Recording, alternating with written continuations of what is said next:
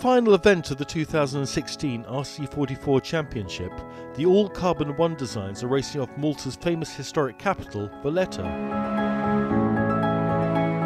Known as the City of the Knights, Valletta is one of the world's most heavily fortified ancient cities. Built on a peninsula with giant vertical ramparts around its perimeter, Valletta has natural harbours on two sides. It was Grand Harbour, the eastern one of these, that today provided the stage for the grand finale of the 2016 RC44 Match Racing Championship.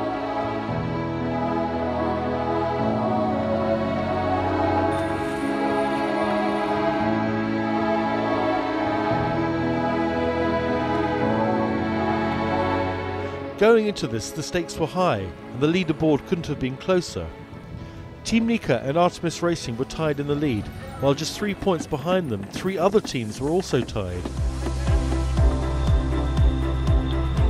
Whichever won today between Bronenosec sailing team, Team CEEREF and Team Aqua would most likely pick up the final podium spot in the 2016 Match Racing Championship.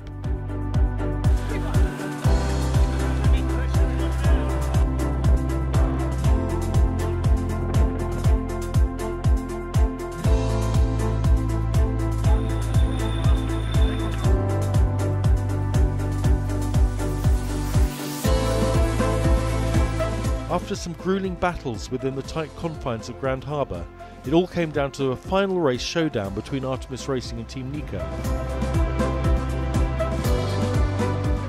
The winner of this would secure the RC44 Match Racing Championship title.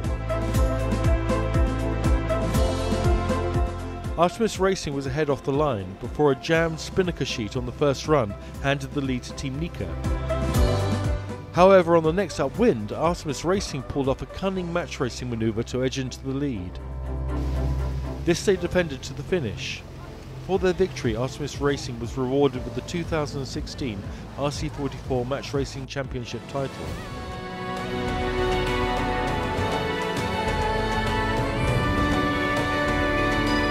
I expected tough fight and it happened and uh, we won some, we lost some and uh, sometimes we were lucky, sometimes we were not.